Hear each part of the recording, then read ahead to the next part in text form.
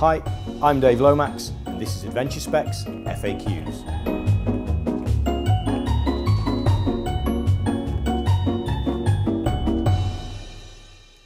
Tyre pressure affects performance of a motorcycle in a pretty simplistic manner.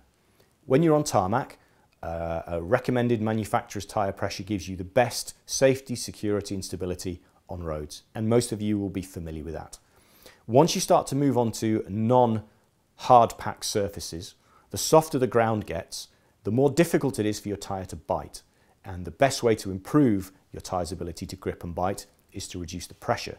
So the tyre can deform more and find more grip, purchase and dig on the ground. Now the question is, when I get to a point where my front tyre feels like it's sliding away from me or I'm trying to make forward progress and my back wheel is spinning up, how do I know how much I have to reduce my tyre pressure by?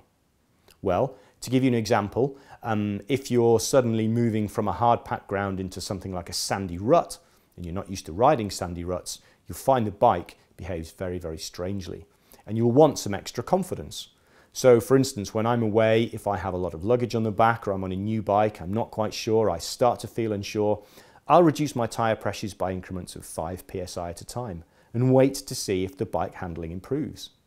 In some cases, this year at Christmas, I was back down in Morocco riding some sand dunes. I found that lowering the tyre pressures by 15 psi on my Motoz Tractionator RallZs made the difference between me being able to climb over the top of a sand dune and out of a bowl and being stuck in the bottom of it. So it really can make a significant difference. But be aware, the lower your tyre pressure, the more you run the risk of punctures. And so there is a fine line between too little air pressure and too much hence dropping in increments to the most of the least tyre pressure you can get away with.